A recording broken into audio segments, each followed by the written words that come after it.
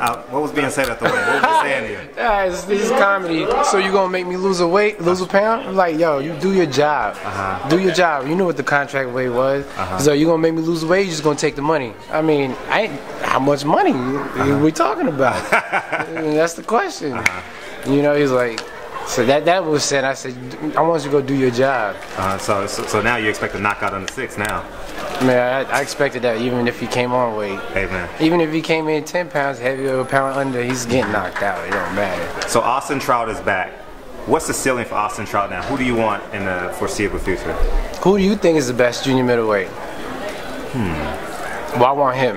Canelo. I want him. You want, so and you want anybody the, under that, or so anybody that's close to that, you know, I want to be the best. So. so you want the winner of Canelo Cotto Or the loser. or the loser? Yeah, it don't matter. Both of them big paydays too. Exactly. Yeah, yeah, absolutely. But you know, looking more so at as the PBC uh, cast goes, Mm-hmm. Charlo Twins, Junior, uh, Julian Williams, those are the top names in the PBC group. Uh-huh. I want to be the PBC champion. And on the lighter side, the last time I spoke with you, Iggy Azalea was your favorite song on the radio. That's a lot. what is it now? What is it now?